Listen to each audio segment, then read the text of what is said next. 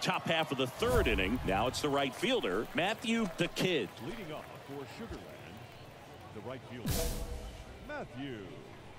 Hey, let her rip, let her rip. The wind of the pitch. And there's the strike. Good looking fastball right there. Surprised he didn't take a rip at that. I think he got locked up a little bit. Here's a swing and a drive left field, and he knew it.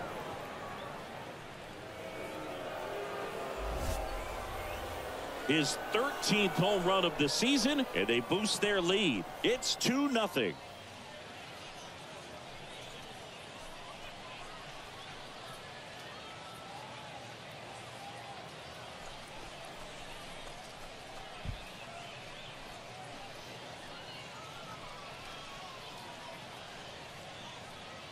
With a low 90s fastball, you have to live on the edges and hit your spots. If you don't, you'll get hit hard. Really good swing there. Patient, waited for it. It was like BP all over again.